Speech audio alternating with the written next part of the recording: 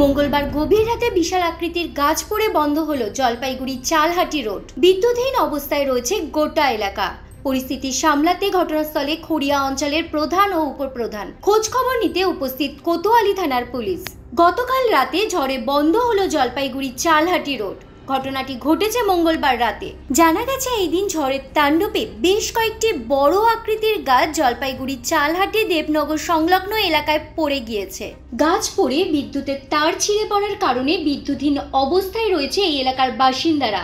বলে জানা যায়। রাস্তায় চলাচল একেবারেই বন্ধ হয়ে গেছে। যদিও ইতিমধ্যে বন দপ্তরের কর্মীরা এসে গাছ কাটার কাজে হাত লাগায়, তবে মানুষের কোনো ক্ষয়ক্ষতি হওয়ার খবর নেই। এরপর বিদ্যুৎ দপ্তরের কর্মীরা তাদের বিদ্যুৎ মেরামতির কাজে লেগে যায়। পুরো ঘটনার বিবরণ দেয় খড়িয়া অঞ্চলের উপপ্রধান। গতকাল রাত্রি বারোটা পঁচিশ নাগাদ জানতে পারি যে এই দেবনগর বারোয়ারি কালী মন্দিরের সামনে মেন রোডে গাছ পড়ে, গাছের ডাল পড়ে, কৃষ্ণচূড়া গাছের ডাল পড়ে টোটাল রোড বন্ধ হয়ে আছে। ইলেকট্রিসিটির ট্রান্সফরমারটা শুধু ফুটে ভেঙে উল্টে পড়ে যাচ্ছে। জলপাইগুড়ি থেকে পার্থপ্রতিম দাসের report U Bangla TV.